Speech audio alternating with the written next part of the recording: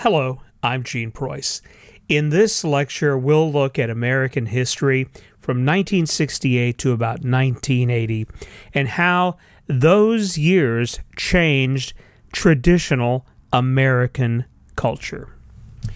We're going to look at the increasing effect that foreign tensions had on American history during the time, looking at calls for greater equality from various groups, and we'll assess the decline of presidential prestige that happened in this time. The courts faced increasing calls to make decisions regarding civil rights, and let's look at four of those. In 1967, a case came up, Loving v. Virginia. Uh, in this case, out of Virginia, a couple, the Lovings, uh, were an interracial couple. And in those days, it was against the law in the state of Virginia to have a black woman and a white man married, or vice versa. And so this was uncon- this was uh, declared unconstitutional by the U.S. Supreme Court, thereby opening the way for interracial marriage and getting rid of miscegenation laws. In Swann versus Charlotte Mecklenburg Board of Education in 1971, one of the ways the federal courts took up integration was through busing. And what they basically were trying to do was to uh, take black segregated schools, white segregated schools, and mix the students together to achieve some level of integration. And what this meant was taking children out of their neighborhood schools and moving them into schools where uh, they could achieve some balance on racial mixture. And so this was done through busing. And it wasn't very popular. It was seen a, a, a, lot of black students and their families didn't like it. Uh, likewise, a lot of white students and their families didn't like it, obviously.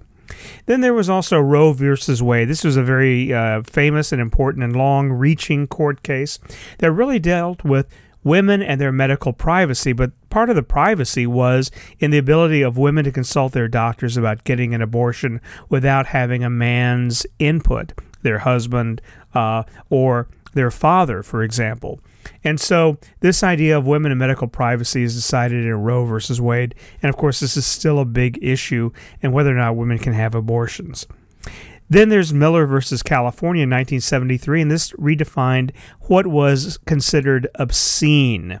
As far as foreign affairs were concerned, there were problems going on in the Middle East. One of those was in 1967, the so called Six Day War. This is where Egypt went to war with Israel uh, and began restricting their shipping. This turned into a full fledged war, but it only lasted six days. Israel won the war, and Egypt left humiliated.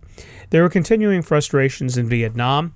President Johnson ordered a bombing campaign that came to be known as Operation Rolling Thunder. And this provoked a lot of concern in the United States because of the use of chemicals like Agent Orange and napalm. Uh, and this increased bombing also put American lives, American servicemen's lives at risk because many of them were affected by these agents, and uh, there were carcinogens, and uh, soldiers developed cancer and other diseases as a result of Agent Orange and napalm.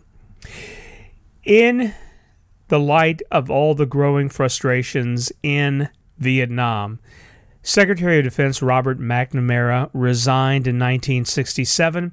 Uh, President Johnson announced the resignation. And then in January of 1968, a year later, the, during the Vietnamese New Year, Tet, there was a major retaliatory strike uh, from the Viet Cong, the communist troops. Uh, and this left a lot of Americans demoralized and military troops demoralized. We thought and we had been told in the media and by the president that we were winning the war in Vietnam. And then for them to be able to launch this counterstrike. Now, historically, when we look at this, this was really a last ditch effort, and, and they were really losing. But it appeared in public perception, to the public's mind, that they weren't. Uh, and so this left many Americans concerned about how long we were going to be in Vietnam, and, and troops were concerned as well. In 1968, in March, the My Lai massacre occurred. These were American troops went in and massacred a village of people, mostly women, children, and some old men. Uh, and this came out at the end of the next year in 1969 in November became public.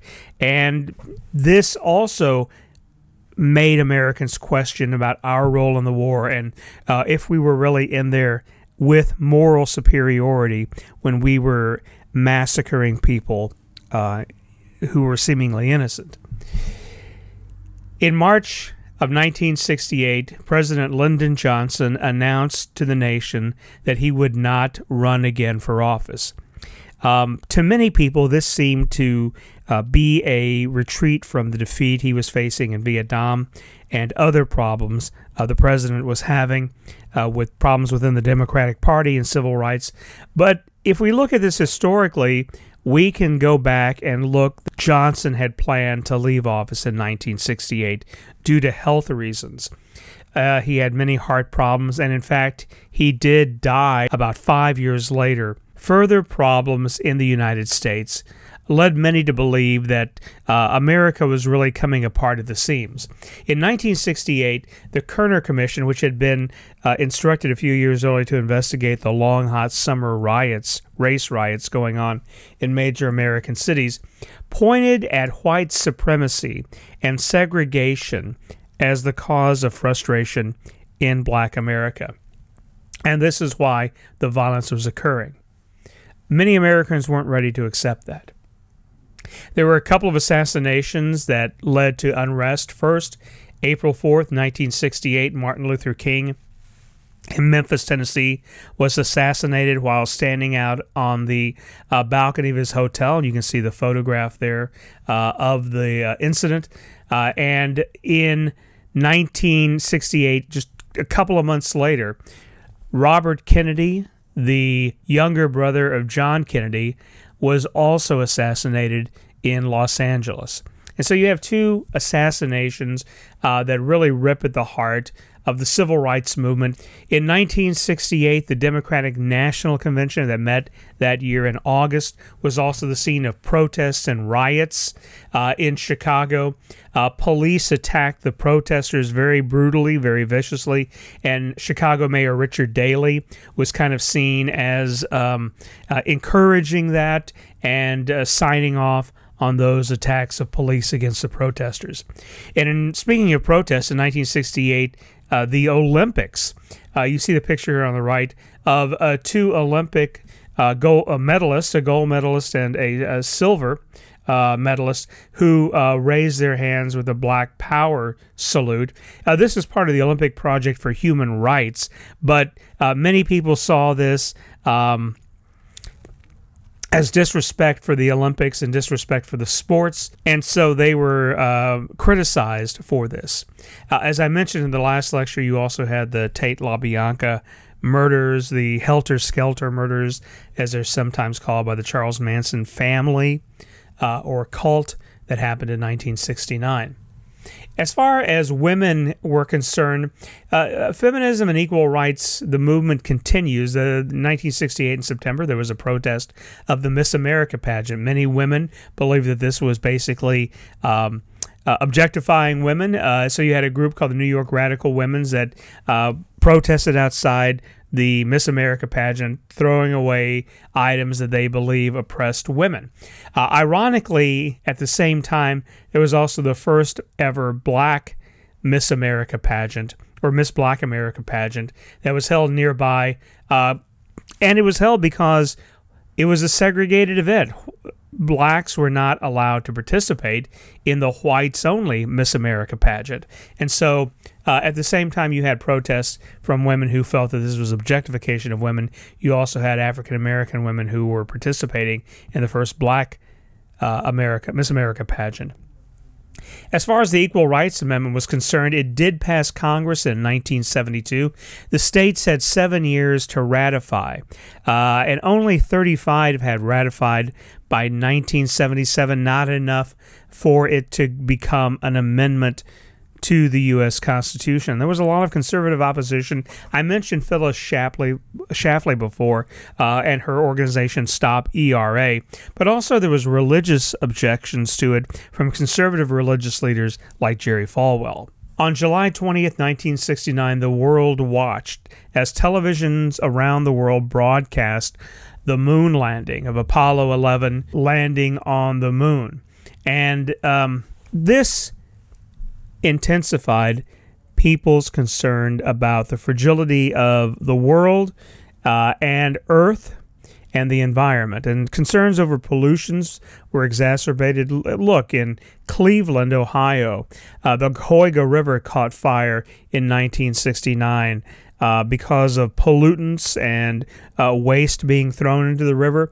Now, this, in fairness, wasn't the only time that river caught fire, uh, and it was a horribly polluted river. But this brought attention to the fact uh, that we needed to do something to protect the environment. In 1970, they instituted the first Earth Day. And also that same year, the National Environmental Policy Act was passed, which established the Environmental Protection Agency. It, uh, there was a campaign called Keep America Beautiful that resulted from this. And in 1972, you have the Clean Water Act. When LBJ announced that he wouldn't run again for president in 1968, his vice president, Hubert Humphrey, ran on the Democratic ticket, as opposed to former Nixon vice president, Richard Nixon, who ran for the Republicans. Nixon won the election, and one of his promises during the campaign was that he had a secret plan to get us out of Vietnam. Uh, and some people have joked that the secret plan was he had no plan at all in reality, what Nixon wanted to do was end the war soon. And so one of the things that he uh, instituted was what was called Vietnamization. And this was the simple idea of putting American troops, replacing them with Vietnamese troops. Let Vietnam take care of its own uh, internal politics. But he did at the same time increase bombing in the neighboring country of Cambodia because uh, he believed, uh, because sources had shown that Vietnamese were using the Cambodian mountains uh, as a route. And so Nixon started bombing this other country. This led to college protests at various colleges around the United States and at Kent State in 1970. Uh, this image on the right hand side is from uh, when protesters um, were attacked, were shot at by National Guard troops uh, who feared the protesters were getting out of hand. Somebody fired a shot, and several protesters were killed. This is so called Kent State Massacre. But uh, this also happened uh, at Jackson State in Mississippi as well. In 1971, the Supreme Court took up the case New York Times versus the United States uh, over what was called the Pentagon Papers. These were documents uh, that had been uh, kind of classified between uh, the Pentagon and uh, the, the, the government, the uh, the White House and whatnot, uh, talking about how the war was going on and details about the war. The New York Times got a hold of some of these documents, wanted to print them. The United States tried to stop them. The Supreme Court said that we needed a free and unrestrained press and allowed the New York Times to print the Pentagon Papers. And what this showed was that um, that there was a lot more going on in Vietnam that Americans felt that they were led to believe, and they felt that they were um, kind of misguided by the administration, by the by the military, and so this further led to calls for more uh, a more quick retreat from Vietnam, for getting American troops out of Vietnam. And so Nixon began this winding down. Uh, the War Powers Resolution that uh, LBJ had gotten uh, expanded during the Gulf of Tonkin resolution was rescinded. Uh, that you had the Paris Peace Accords going on in 1973 to try to broker a truce between the United States and Vietnam, and finally, in April of 1975, the U.S. withdrew its troops from Vietnam fully. Speaking of uh, President Nixon, in 1972 he was up for re-election. And Nixon ran on kind of what was called the Nixon Doctrine. And this was his foreign policy, which was led by his Secretary of State and Foreign Policy Advisor, Henry Kissinger. Uh, and uh, Henry Kissinger believed in a policy that he called detente. And this was kind of an, an old policy from the 1870s, uh, European uh, power politics that was called realpolitik. And what it was was, you know, uh, uh, showing a force and, and, building up of forces in order to get people to the bargaining table. Uh, Nixon did take advantage of this detente, this kind of brokering of a peace and an agreement uh, not to go to war. Uh, he was the first president ever to go to communist China, and he went there in 1971. And he had other foreign successes too. He went to Russia in 1972, uh, so he visited two communist countries. He began negotiating treaties with the Soviets and the Chinese uh, over uh, ballistic missiles, the ABM treaties, and SALT treaties, strategic arms limitation talks. Uh, won the first treaty in 1972. And so when he was up for reelection, uh, one of his big opponents uh, was the Democrat George Wallace. George Wallace, you may recall, was governor of Alabama and a staunch segregationist uh, using the Southern strategy. There was an attempted assassination on Wallace in May of 1972. He was left um, wounded and he used a wheelchair, paralyzed uh, for the rest of his life. Also, as a part of the re election, it was discovered that uh, in the Watergate office building in Washington, D.C., the Democratic National Convention office was broken into. And research showed links between the burglars, the Watergate burglars, and the president's reelection committee, the committee to reelect the president, also known with the unfortunate initials as CREEP. The Watergate break in and investigations into the break in led to the Washington Post and the New York Times beginning a series of uh, conversations with a secret informant they called Deep Throat. Now, they didn't reveal the name of the informant, but they used the name of a pornographic movie title to uh, to identify their informant. This Deep Throat gave them information that they printed in the newspapers that eventually led to uh, congressional investigations in January 73. The Senate began inviting Sam Ervin, uh, a Democratic senator from North Carolina, began uh, televised investigations that summer. What we found out was that Nixon had been taping conversations in the White House. And what that meant was that um, there may have been information on those tapes that could have implicated or possibly exonerated the president. The real question was what did the president know and when did he know it? And so they were going after these tapes to listen to them to find out what those meetings were about, who Nixon met with, uh, and what information he was given. Did the president help cover up a crime? If so, that is a high crime and misdemeanor, and therefore he could be impeached as a result of it.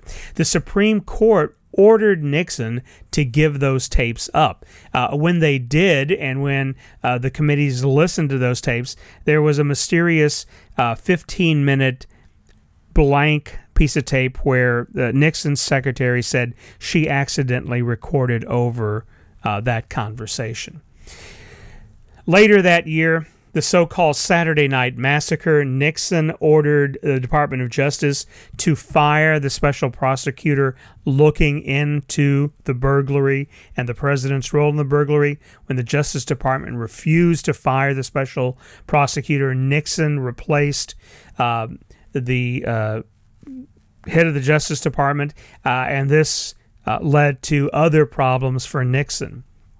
Finally, on July 30th of 1974, the House Judiciary Committee voted articles of impeachment against the president, and in order to avoid what was almost surely going to be a conviction by the Senate, the head of the Republican National Committee at that time, uh, a young man named George Herbert Walker Bush, went to Nixon's office and told the told the president that he really should resign. Nixon took his advice, and on August the 9th, 1974, in order to avoid the impeachment trial, Nixon resigned.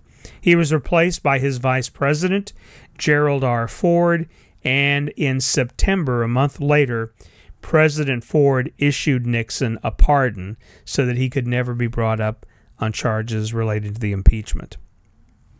This really soured a lot of Americans on the Republican Party um, and uh, politics in general. And so when they went to vote in the 1976 elections, they wanted an outsider. And they found that in the Democratic nominee, James Earl Carter, of Georgia. When Carter came into the presidency, he was facing problems that he, Gerald R. Ford before him, and even Nixon had started to face before he left office. One of these was the economic decline. A part of this was as a result of the amount of money we're, we're spending fighting the Vietnam War, but also the fact that Europe had started to rebuild from the ravages of World War II, and so their economy was up and going too. So basically, it was kind of an early form of globalization that was hurting the United States economy. The cost that we were fighting in the Cold War, our own stalled economy led to increasing unemployment and rising inflation. Uh, so much so that Nixon uh, was forced to take the United States off the gold standard in order to try to correct and stem that rising inflation. On top of that, in 1973, the United Arab Emirates in the Middle East declared a oil embargo. The oil producing export countries OPEC declared an oil embargo on the United States uh, and this was in retaliation for our support of Israel during the 6-day war and also as a result of another war that happened in 1973 uh, sometimes called the Arab-Israeli War or Yom Kippur or sometimes a Ramadan war uh, of October that Israel also won. The United States supported Israel. So this was a retaliation, and it led to uh, problems uh, with American refineries getting crude oil and therefore no oil at the pumps. And so you would see signs like you see on the right hand side. These were very common during the 70s, and the price of oil started going up because of our growing dependence upon foreign oil. Manufacturing jobs in the Midwest were also facing a hit as well. Uh, a lot of the big three auto manufacturers were moving to plants in the South and in the so called Sun Belt, the Southwest. Part of this was because uh, they were building and implementing new forms of mechanization uh, that they then brought to those plants in the South, where they were able to pay lower taxes. And they also had stronger laws against unions, so unions were weaker in the southern and southwestern states, therefore driving the price of, uh, uh, of the employees down. In the midst of these problems, there was conservative backlash. And many people were wondering if civil rights had gone too far. You see groups like the Heritage Foundation in 1973 is a conservative think tank, and their mandate for leadership that they published in 1981. Also, another conservative, more of a libertarian group, uh, the Cato Institute, and their publication, The Libertarian, uh, questioning uh, the movement of civil rights. And although this was not, this next incident uh, was really not related to civil rights, many saw that it was. Um, Jim Jones, the fellow you see here with the sunglasses, was the leader of a church, uh, a, a, Protestant uh, Pentecostal church that he called People's Temple. And uh, it, they started off in the Los Angeles community, uh, reaching out uh, to a lot of African American and other minority groups. Um, Believing that the United States would not end its level of segregation, he and his followers moved to Jonestown, Guyana, in South America. And there, this is where we get the term drink the Kool Aid from, uh, because there were a mass suicide. He predicted the end of the world, and he said that the only way they could get out of this is, was by suicide. Uh, and so this was a terrible, terrible incident and many people believed uh, that it was kind of tied to the civil rights movement and kind of excesses of some of the civil rights movement. You also see the growth of political action committees. This was a new animal in the 1970s, and these were uh, groups that could pool their money and support candidates of their choosing. You also see uh, the growth of a group called neocons, neoconservatives.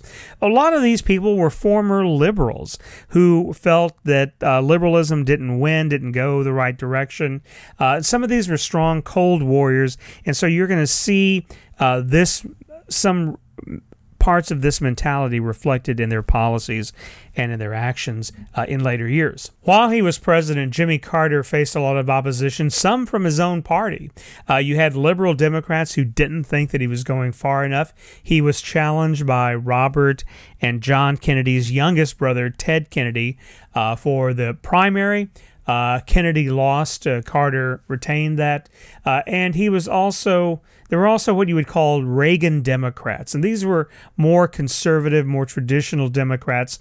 Some of these people were farmers. Uh, farmers uh, we're seeing a lot of farm foreclosures in the late 1970s. Uh, again, because of growing crops in Europe and the revitalization of the European economy, basically what we would call globalization today, a lot of American farms uh, faced a lot of problems. There was also a boycott uh, on the Soviet Union, and we'll talk about this later on, for um, invading Afghanistan in 79. And so we refused to sell American wheat to the Soviets, and this also hurt American farmers.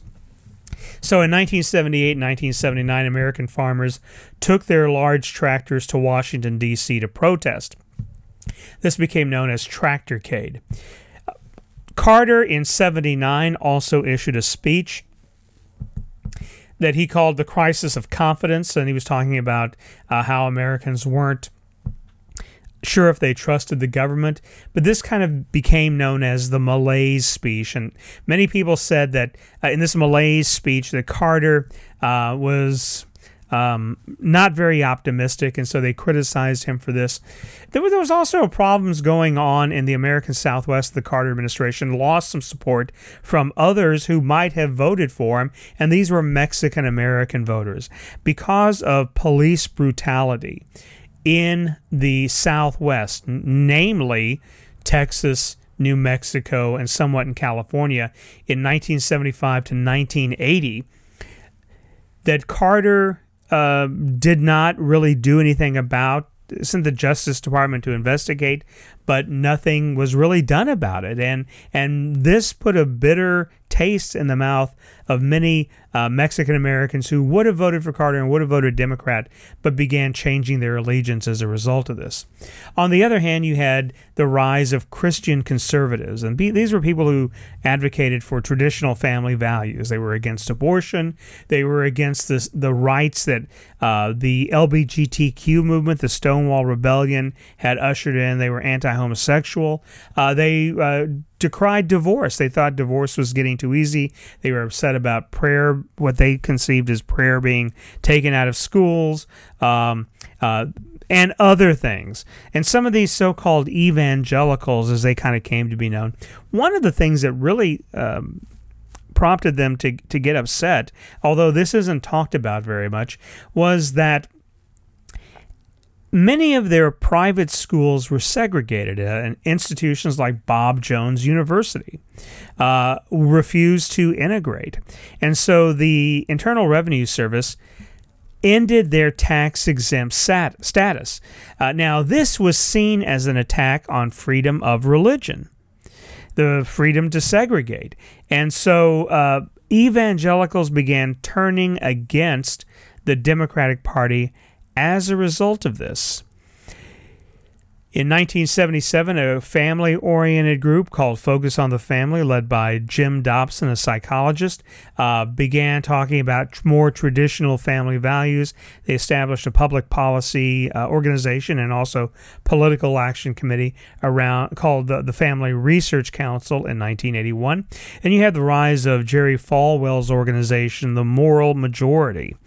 And uh, Concerned Women for America, uh, which also uh, focused, besides ERA, on uh, abortion, uh, voting rights, and, and women's rights. But from a conservative viewpoint, uh, they were anti abortion.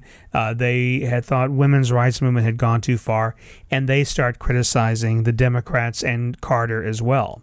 So he's got opposition from not only his own party, the Democrats, but a growing opposition from evangelicals, conservatives, uh, and the Republicans. Finally, it was foreign affairs that continued to plague the Carter administration. In 1979, in Iran, the rule of the Shah uh, was overthrown by a uh, religious led organization, conservative traditionalist religion led by uh, the Ayatollah Ruhollah Khomeini. Uh, the Shah of Iran had been supported by the United States government since 1953, and uh, when the Shah fell ill with cancer and came to MD Anderson uh, for treatment, uh, President Carter had given the Shah sanctuary.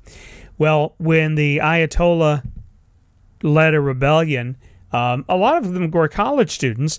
They invaded the American embassy in Tehran and took Americans hostage. They held 52 of them. They released a few, but for 444 days, they held Americans over a year as hostages. And the nightly news reported on this, uh, and there were attempts to rescue them, uh, but nothing really happened. Uh, finally, Saddam Hussein, the uh, leader of Iraq, ordered an, an invasion of Iran, uh, and he forced Khomeini to negotiate.